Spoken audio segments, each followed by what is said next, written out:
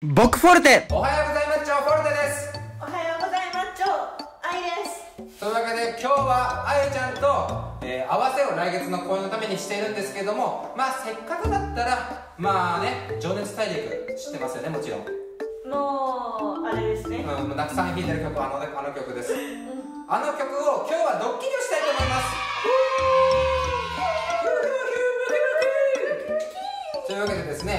僕とあいちゃんが、えー協力してこのスーパー高級おもちゃの楽器を手に入れました。このサックスを使ってその千野哲太君に突然このおもちゃの楽器を渡してみたらどんな反応をするのか？イエーイ！彼はプロのサックス奏者なのでね、えーあ奏者。あ彼はプロのサックス奏者なので、えーこのおもちゃの楽器のサックスでもめちゃくちゃ上手に演奏ができると思うんですね。これ当たり前ですよねですね。はいできなかったらもうありえないあというわけでね突然情熱大陸を演奏中にこれを渡したいなと思います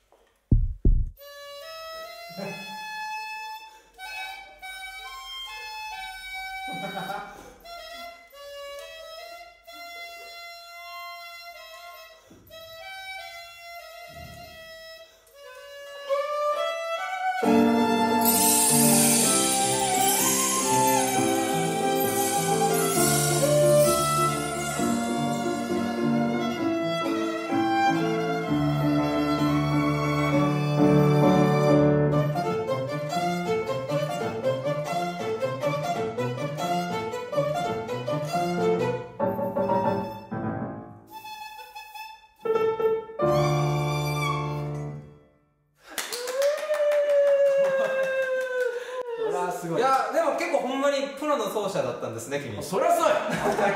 やでも結構普通に上手だったよな。あれやいやこれね普通に君こっち先行に変えたそれはやばいそれはもう悪口。はい悪口。やっぱりねさすがプロの奏者だったのでおもちゃのサックスでもめちゃくちゃ上手に弾けました。お疲れ様で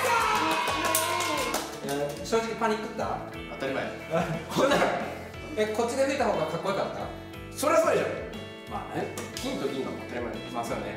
というわけでね皆様やっぱりねプロの奏者はおもちゃの楽器でもめちゃくちゃ上手だというドッキリが大成功したのでぜひとも3人の来月の公演楽しみにしておいてください。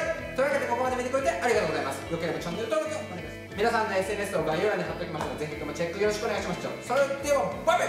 バイバイ。バイバイ。見てくれてありがとうね。よければグッドも押してって。